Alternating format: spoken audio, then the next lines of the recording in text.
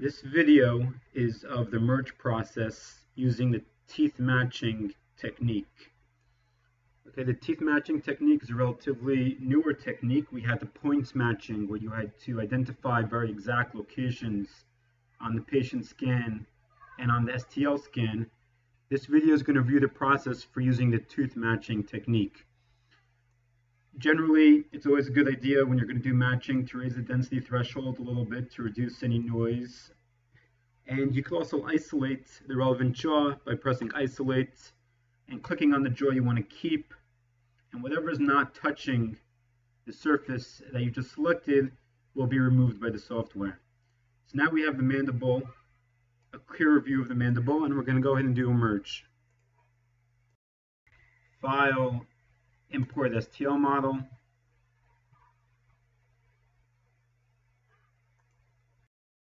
Select the relevant STL. And the software opens up the CT and the scanned model.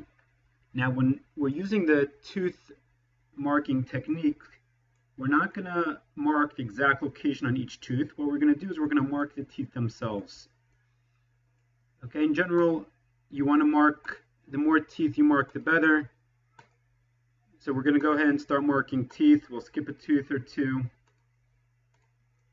And as you can see, we're not being very careful as to exactly where on the tooth we're marking. We're just going and replacing the dots.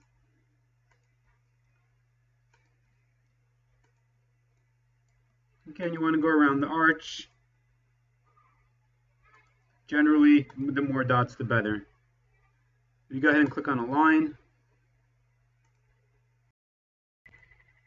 we now see the merge on the screen in the 3D view, and we could also see the outline of the model in the 2D view. From these two views, it looks pretty good.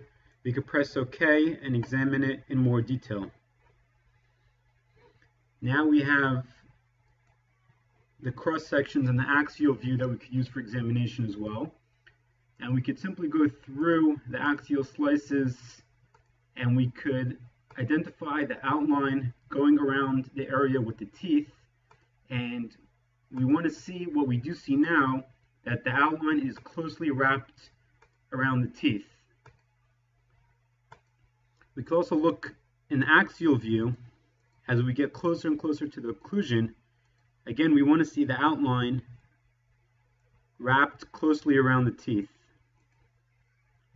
Now, if we want to make any changes to the merge, we could use the model manipulation panel and click matching teeth, which is the technique we just used now, and it will open up the panel that we had previously. We could add additional dots or move some dots.